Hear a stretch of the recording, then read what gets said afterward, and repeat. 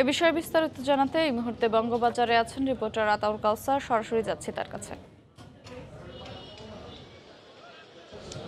ধ্বংসস্তূপ সরানোর যে কাজটি আজ সকাল সাড়ে দশটা থেকে শুরু হয়েছে, সেটি এখনও চলছে এবং এখনও পর্যন্ত ধ্বংসস্তূপ সরানোর কাজটি তারা করছেন। আমরা দেখেছি গ্যাস কাটার দিয়ে যে লোহার লোহার অ্যাঙ্গেলগুলো আছে, সেগুলো তারা কাটছেন, বিভিন্ন শাটার কেটে নিচ্ছেন এবং অন্যান্য যে লোহার সামগ্রী আছে, সেগুলো কেটে এখান থেকে সরিয়ে নেওয়া হচ্ছে এবং একটি ট্রাকে সেগুলো কয়েকটি ট্রাকে আসলে পূর্ণ করে সেগুলো এখান থেকে সরিয়ে নেওয়া হচ্ছে। তো কিন্তু ব্যবসায়ীরা অভিযোগ করেছেন, আসলে আগামীকাল থেকে অস্থায়ীভাবে এখানে বসতে পারবেন। এমন যে আশাটি তারা করেছেন, সেটি কোনোভাবেই সম্ভবপর হবে বলে তাদের মনে হচ্ছে না। তারা বলছেন যে যেভাবে ধ্বংসস্তূপ সরানোর কাজ হচ্ছে, অন্তত তিন থেকে চার দিন সময় লাগবে ন্যূনতম। এটি পরিষ্কার করতেই তারপরে আবার এখানে চকি বসিয়ে তারা বসতে পারবেন।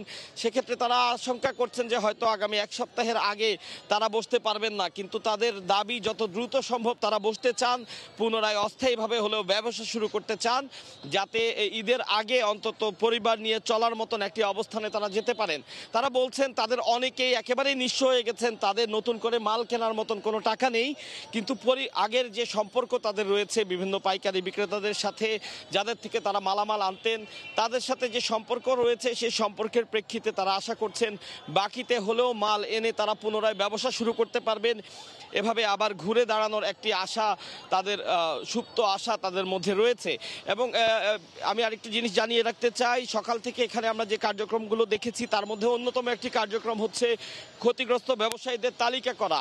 ব্যবসায়ী নেতারা সিটি কর্পোরেশনের এবং জেলা প্রশাসনের পক্ষ থেকে যে নির্দেশনা পেয়েছেন, তা হলো ক্ষতিগ্রস্তদের তালিকা বা একটি প্রণয়ন করা, যে তালিকার মাধ্যমে, যে তালিকার মাধ্যমে ক্ষতিগ্রস্তদেরকে সহায়তা দেয়া হবে। সেই কাজটি চলছে এবং অনলাইন জিডির কার্যক্রমও চলছে। পাশাপাশি আমি দেখেছি যে বিভিন্ন বিমা কোম্পানির সার্ভেয়াররা কাজ করছেন। তাদের যে সকল ক্লায়েন্টদের বিমা করানো ছিল, তারা যেন সেই বিমার টাকাটি পান, সে অনুযায়ী তারা কাজ করছেন। তো এই মুহূর্তে বঙ্গবাজার, যে আগুনের ঘটনাস্থল, সেখান থেকে এই ছিল সর্বশেষ আমার কাছে। সরাসরি যুক্ত ছিলাম বঙ্গবাজারে।